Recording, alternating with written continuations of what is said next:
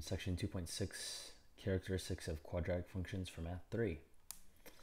What type of symmetry does the graph of f of x equals a times x minus h squared plus k have, and how can you describe the symmetry? So this, it should be obvious that this is a, a quadratic in vertex form. So uh, with a vertex of h comma k. Um, and we're going to look at some examples to show you how to graph and kind of consider uh, quadratics. So you already should be familiar with the shape. It's a parabola. Um, it's symmetric. So there's an axis of symmetry uh, where it essentially it goes to the vertex, right? So x equals h is the axis of symmetry, um, and basically just cuts it in half. Um, so I wanted to start off in the textbook because we have this good example um, using symmetry to graph quadratic functions. So graph f of x equals negative 2 times x plus 3 squared uh, plus 4.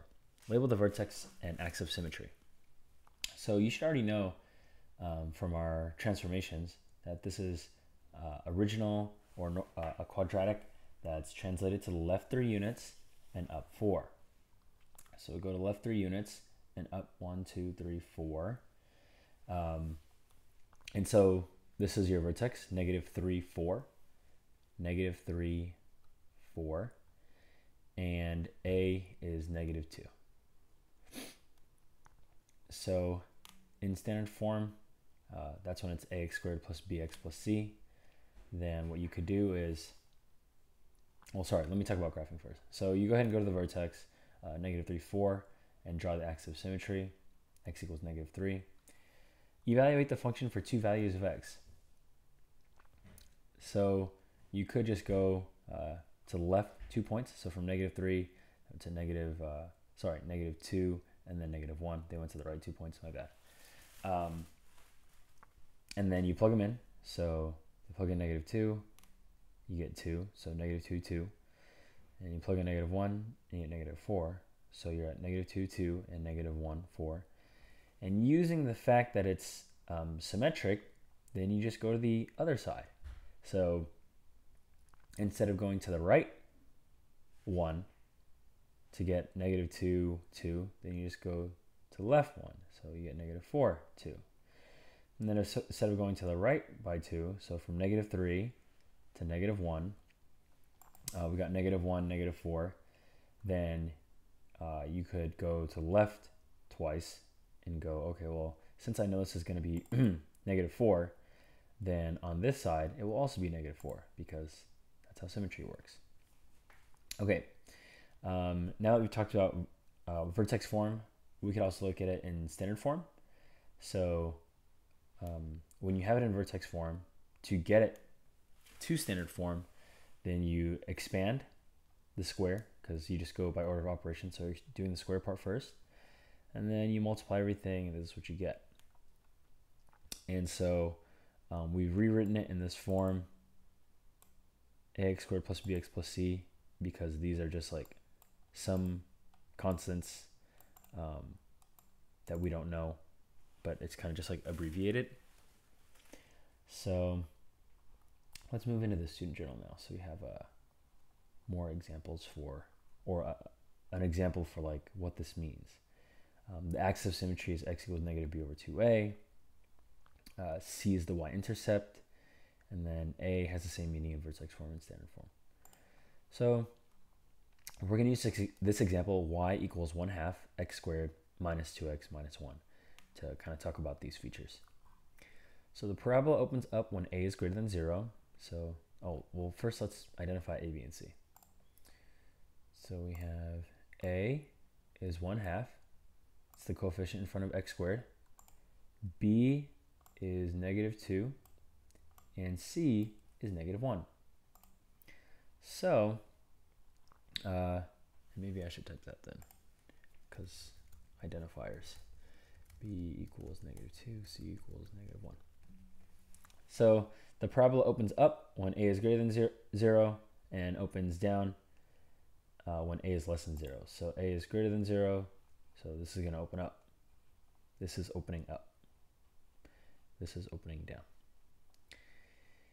Um, the graph is narrower than the graph of the parent function x squared when the absolute value of a is greater than 1 and wider when the absolute value of a is less than 1. So the absolute value of 1 half is 1 half and less than 1. So, which is less than 1. So it's going to be wider. Um, and the axis of symmetry, or where the vertex is, or where the uh, middle of the graph is, is at x equals negative b over 2a. So what will that look like here? Axis of symmetry, x equals negative b, so negative, never, negative, negative 2 over 2 times 1 half. And let me go ahead and put that in a fraction. Nice. So I have negative negative 2 is positive 2 divided by 2 times 1 half is 1. So this equals 1. Or sorry, uh, 2. 2 divided by 2 is, or sorry, 2 divided by 1 is 2. So the x value, or the axis of symmetry is x equals 2. And the vertex is when I take this value and I actually plug it in to get the y. So I will go ahead and do that. So my vertex is 2 something. I don't know yet, but I will find out. So 1 half times 2 squared minus 2. I'm just substituting x 2 for x uh, minus 1. So 2 squared is 4. Half of that is 2 minus 4 minus 1. 2 minus 4 minus 1 is negative 3. And so my vertex is 2, negative 3. Um, the y-intercept is c, so the point 0, c is on the parabola. So in this case, 0, negative 1 is on the parabola. Uh, y-intercept, 0, negative 1. And so I have all these features. I know without even having put, you know, made one of these. I know that my vertex is at uh, 2, negative 3. I know that it's going through the axis of symmetry is x equals 2. Um, and the y-intercept is 0, negative 1. So uh, once you've graphed the vertex, like I said before, if you want to make a t-chart, then you could go, um, you know, you could graph 2, 1, 0, or you could graph 2, 3, 4. But when you graph two points on one side of the vertex, then you can just copy uh, copy that idea to the other side because of symmetry. Um, minimum and maximum values. So uh, the y coordinate of the vertex is the minimum value of the function. So really it just it depends on if it's opening up or down. So if it's opening up, it's a minimum value because it's at the bottom. And if it's at the top, it's the maximum value. Um, do pay do do notice that it says the y coordinate of the vertex is the minimum value. So after you plug in negative b over 2a, that will get you the y, uh, that will get you the minimum or maximum value. Um, let's look at the range. Okay, so um, let's see if I can grab this real quick and talk to you guys about.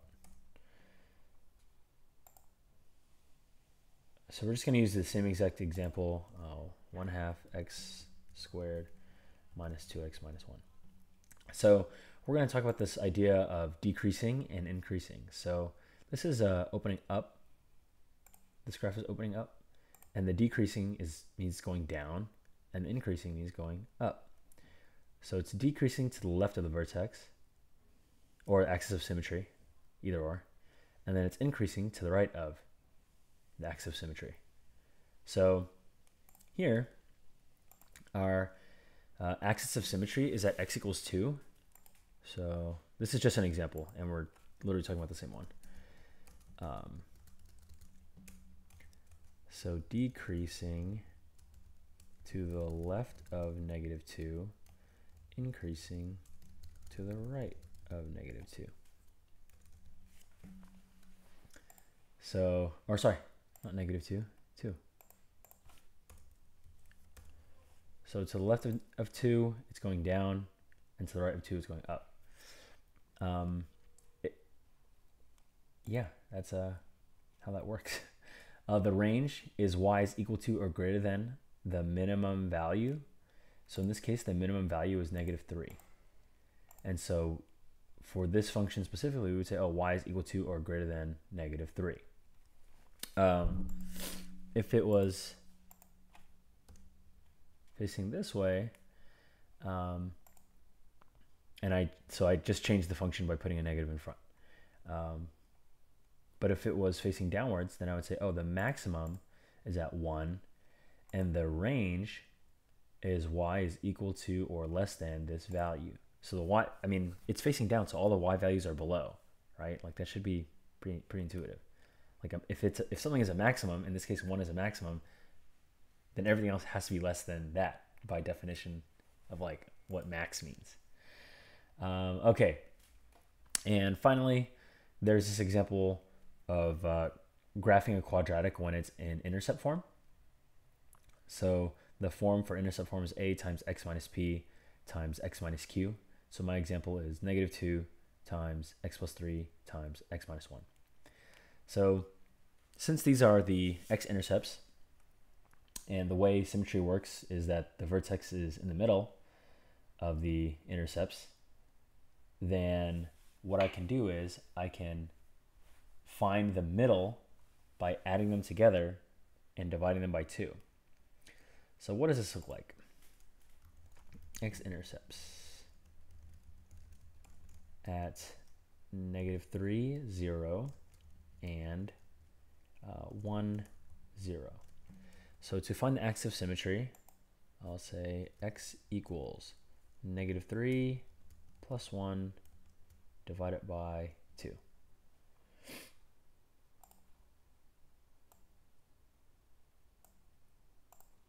And that's how you, I mean, that's where your axis of symmetry is.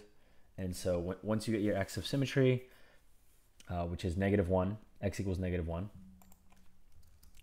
then to get your vertex, you just plug in negative 1, and then, you know, you get your output, and whatever your output is, that's the y coordinate.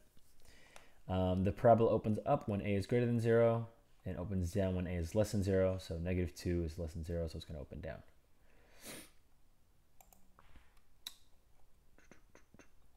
Yeah, I talked about vertex, axis of symmetry, minimum, max, domain and range, where the function is increasing and decreasing. Label the x-intercepts, vertex, and axis of symmetry. Yep, cool. So let me know if you have any questions, um, and I'll clarify or answer.